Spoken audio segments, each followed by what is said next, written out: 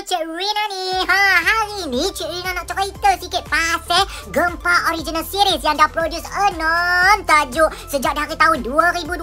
Ha, hebatnya Gempa Ori ni koma kalau pukul rata uh, views video promosi drama dekat digital. Uish, lebih 2 juta tau.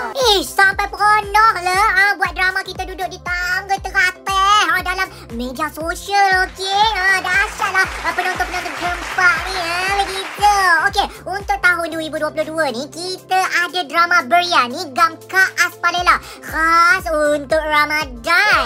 Cerita dia, ha, pasal Kak Aspalela, toke Biryani Gam paling padu dekat kampung dia. Ha. Masalahnya, tiga anak dara dia tak boleh diharap. Ha. Sampailah dia terpaksa berlakon jadi hilang ingatan. Ha. Masa tu barulah anak dara dia terhege-hege nak belajar Biryani Gam special ni.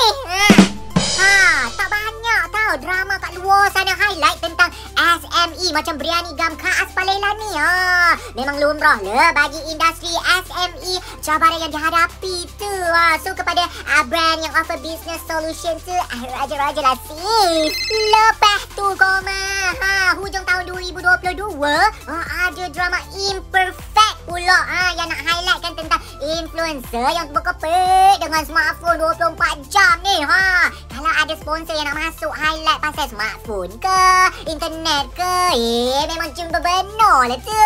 So, drama Imperfect ni mengisahkan tentang si Liza ni PA kepada influencer terkenal iaitu Elina. Ha, dia ni obses berbenar dengan Elina sampai semua benda dia tiru. Ha, satu hari tiba-tiba Elina macam reply kat social media dia kan. Oh, macam-macam alasan tak nak jumpa orang. Eh, macam pelik je betul ke tu Elina? Ha, tak isi kan cerita ni. God. Okeylah, sebenarnya um, banyak lagi drama-drama best kat Gempa Ori. Tapi uh, Cik Rina cuma diberi 2 minit je. So, kita PM okay? Thank you, you all.